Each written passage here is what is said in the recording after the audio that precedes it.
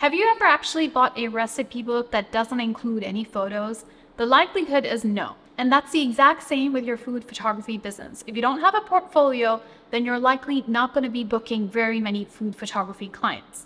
Sure, you might get a few via Instagram, but if you're thinking of building a long-term food photography business that's profitable, that's thriving, that's a business where you're actually quoting a large amount of money, then your portfolio is really your trump card. It's kind of like a non-negotiable asset in your business. And in today's video, I'm not actually convincing you on why you need a portfolio. I'm actually breaking down some major mistakes I see in my students' portfolios, as well as mistakes that I made when I was first starting out, and these really lost me clients. So let's jump straight into them. Now, one of the biggest mistakes that I made when I first started out with my portfolio was including pictures that I liked. Now, sorry to break it down to you, but your portfolio is not about the pictures that look good to you. They're really not about the pictures that get the most likes on Instagram or pictures that you took with your favorite client. Your portfolio needs to include images of the kind of work that you want to attract and the brands that you want to attract. So let me show you an example of what I mean. Now, this is a product photo that I took for Subway for a recent campaign for their cheesy pull subs. Sandwich looks perfect. I love the lighting in this photo. This campaign made my clients millions of dirhams. And I actually made a pretty good amount from the photo as well. But you won't see this image inside my portfolio because this is not the style of photography that I want to be hired for. If you actually scroll through my portfolio, you'll see work that is bright, high contrast, it has strong lighting, it has a very editorial feel to it. And that is the kind of clients I want to be attracting.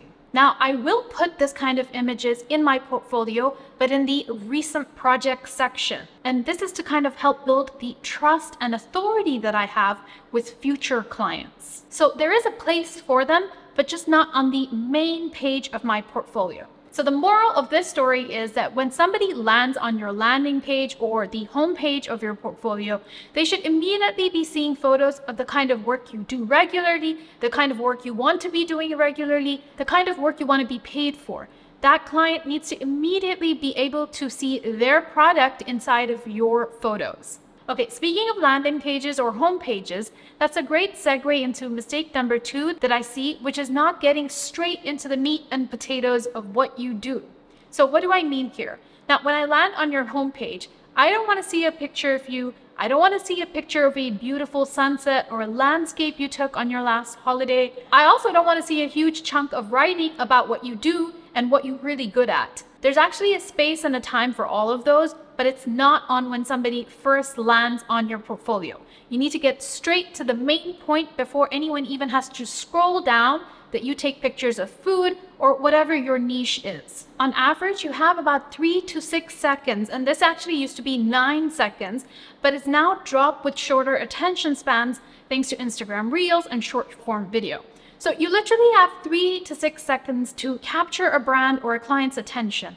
So why not show them your best work and what you want to be hired for as soon as they step onto your portfolio page. Don't make your leads and your prospective clients jump through hoops to get to your best work. You've done the really hard work of actually getting the client to even land on your website. So don't waste this opportunity by wasting their time and showing them things that's not going to help them make an immediate decision on whether they want to work with you or not. In fact, 90% of the decision to hire you should have been made by the time they get off the portfolio. Now, speaking of hiring, if you're thinking, how on earth do I even get paid clients? How do I make these clients land on my portfolio? How do I book clients? How can I make money with food photography? How can I get a client to pay me for my work? I have a live three day workshop series absolutely free that's running in November. If you want to attend, make sure you sign up using the link in the description box below. If you've been cold pitching or sliding into DMs on Instagram or posting regularly and you're still not seeing paying food photography clients, this free workshop is for you. Okay, let's jump on to another mistake photographers are making with their portfolio. And this is one that's often overlooked by photographers, and that's neglecting to optimize your portfolio for mobile viewing. Now, recent stats have found that 60% view your portfolio on desktop, but a mighty 40% are viewing on mobile.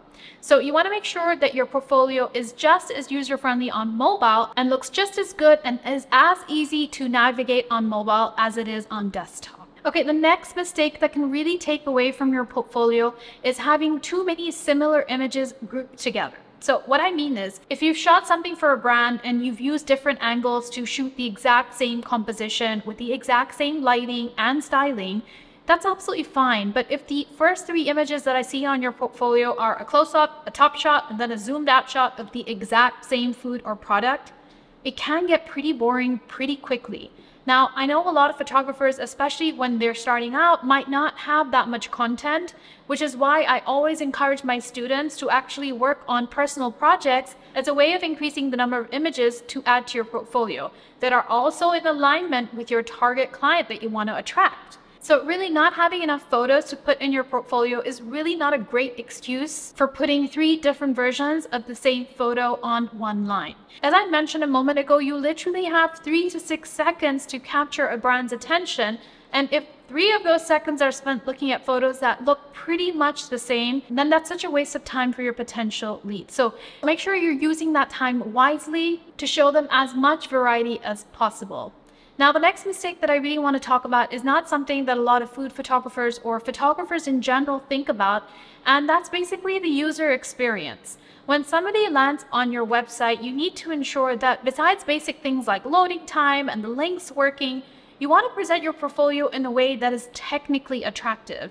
If your website is difficult to navigate or it's complex or there's too many colors or the user experience feels clunky, that's not the best way to begin your relationship with a client. And it's actually going to deter them from exploring your work further and from them wanting to even work with you. So as an example, one important aspect of having a user-friendly website is the sizing of your images. Now, if the photos are unusually large and in order for the user to see the full image, they need to keep scrolling, that can actually be really off-putting to the client because they can't see the full image in its full glory or the full potential of your work. Do you know what I mean? On the other hand, if you try and cram in as many columns as possible and the images are like tiny and the brand can't see the finer details that you've crafted in your storytelling, then again, you're actually doing a disservice to yourself and putting off that client.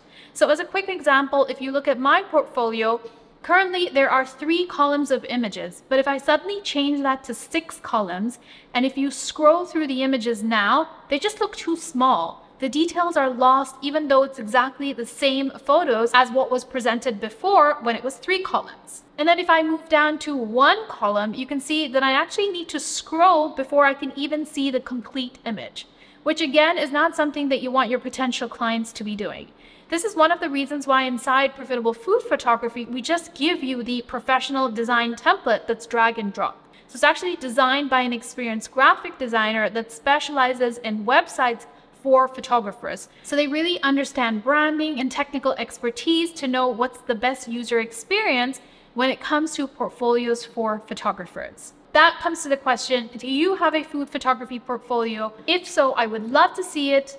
Pop a link to your portfolio in the comments section below and let me know if this video was helpful and if there's any tips that you'll be implementing into your portfolio today. And if you found this video on portfolios helpful, then I'm 100% sure you're going to love this video, so make sure you check it out next.